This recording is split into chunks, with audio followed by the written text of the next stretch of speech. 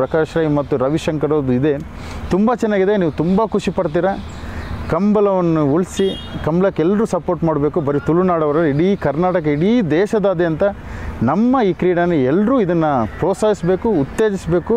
But ಇದು ಸಂಸ್ಕೃತಿ, ಇದೊಂದು ನಮ್ಮದೊಂದು ಹೆಮ್ಮೆಯ ಒಂದು ಸಂಸ್ಕೃತಿ ಅಂತ ನಾವು ಹೇಳ್ಬೋದು.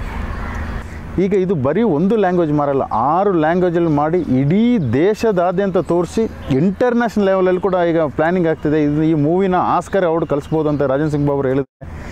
ನಾವು ಪ್ರೊಡ್ಯೂಸ್ ಮಾಡಿದ್ದೇವೆ. ನಾವು ಒಂದು ಚಿಕ್ಕ ಆ್ಯಕ್ಟ್ ಮಾಡಿದ್ರಲ್ಲಿ ಒಂದು ಒಳ್ಳೆ ಆ್ಯಕ್ಟ್ರಲ್ಲಿ ಬಂದಿದ್ದೇವೆ.